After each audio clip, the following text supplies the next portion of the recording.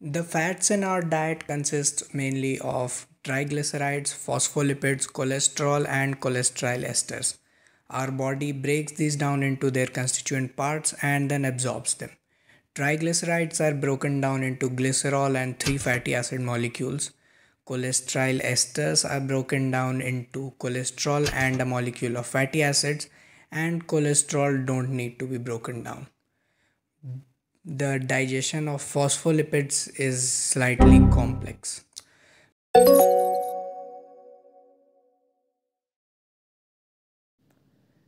So inside our digestive systems, the fats have a tendency to stick around and form clumps just like oil droplets. But the enzymes that we have got are all water soluble and not fat soluble. So they cannot really penetrate deep into these structures and digest all of the fat they can only act on the surface of it.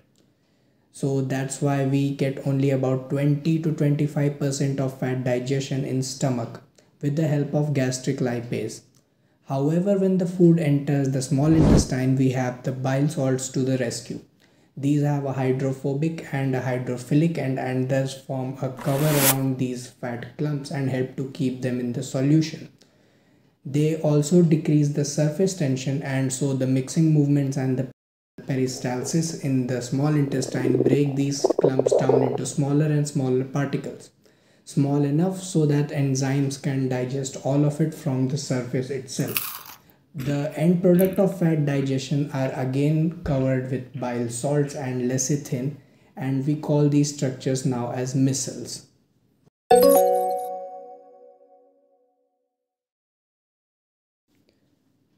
The micelles contain the end product of fat digestion and the fat soluble vitamins A, D, E and K.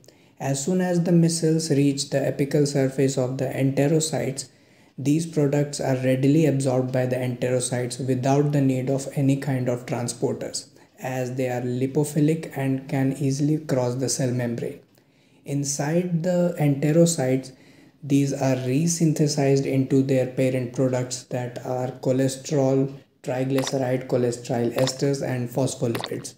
Then they are packed into small lipoprotein particles known as chylomicrons the lipid part of chylomicron is just the envelope whereas the protein is for recognition by the receptors of the cells which will engulf them. Then these chylomicrons are absorbed into the lymph vessels in the intestine known as lacteals.